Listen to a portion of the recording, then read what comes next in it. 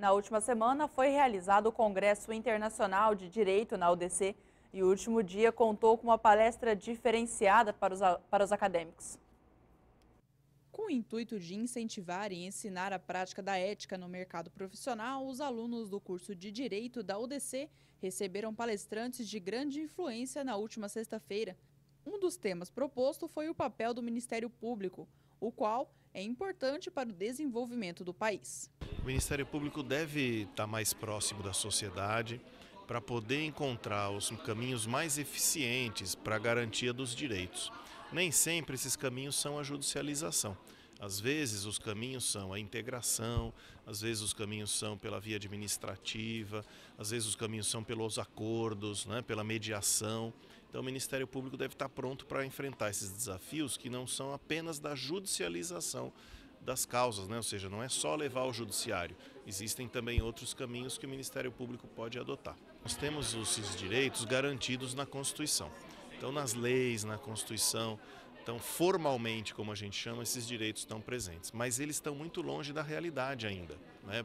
Muitas pessoas ainda não conseguem acesso à saúde, à educação e tantos outros, habitação, tantos outros direitos. Então, o nosso papel é contribuir para que esses direitos possam ser efetivados. Daí a ideia de atuar em políticas públicas, né? daí a ideia de trabalhar em conjunto, seja judicialmente ou extrajudicialmente, buscando é, a efetivação mesmo. O que a gente precisa é encontrar é, o caminho para ter o número de vagas, para ter as, as pessoas possam ter acesso.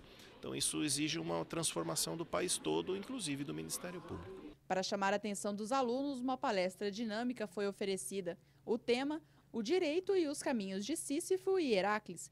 Levando em consideração o tema, os alunos mal esperavam pelos aprendizados que seriam passados de forma tão contagiante. De modo a incentivar os acadêmicos, o palestrante optou por contar experiências profissionais próprias, que mudou o clima da palestra, deixando os alunos animados pelas histórias do presidente da mesa e incentivados com o futuro profissional. O gera responsabilidade sem dúvida, hoje eles saem daqui com um maior encargo, uma maior responsabilidade. Mas também saem sabendo um pouco mais. Isso vai fazer com que eles andem a próxima milha, como eu falei, vençam os desafios. Tenho muita fé neles. Aquilo que eu falei, não faça nada que você vai se arrepender. Vá pelo seu sexto sentido, no sentido, pensando assim, eu poderia contar isso aos meus pais, eu poderia contar isso aos meus filhos com orgulho. Sempre pense nesse filtro. Se eu pudesse contar isso com orgulho, então vale a pena fazer. Senão, não vale a pena fazer. E para finalizar, o doutor deixa para todos uma dica sobre como se destacar no mercado de trabalho. As pessoas falam ah, a carreira de administração, a carreira de direito, a carreira de comunicação. Tem muita gente boa, mas você sempre vai ter espaço se você for bom. Sempre vai ter. Eu sempre procuro estagiários bons. Eu sempre procuro advogados bons para trabalharem comigo. A TV sempre procura bons repórteres, bons jornalistas, porque falta sempre gente boa, sempre tem espaço para gente boa. Foi divulgada pela ANAC as novas regras para transporte aéreo. Com isso, algumas mudanças serão realizadas e entrarão em vigor a partir da próxima terça-feira. A ANAC aprovou nesta segunda-feira novas regras para o transporte aéreo de passageiros que começa a valer a partir do dia 14 de março.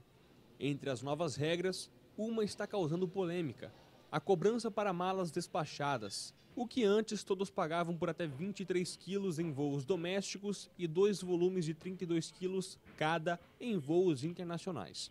Os passageiros devem se informar antes de comprar a passagem, já que cada companhia aérea terá liberdade para criar suas próprias regras em relação às bagagens. O valor dependerá do peso, da quantidade e do tamanho das malas e será informado ao passageiro no momento da compra da passagem ou nos balcões de check-in.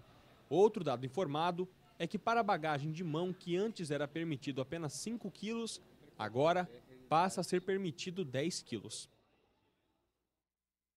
Quando falamos sobre glúten, é comum surgirem algumas dúvidas a respeito da saúde.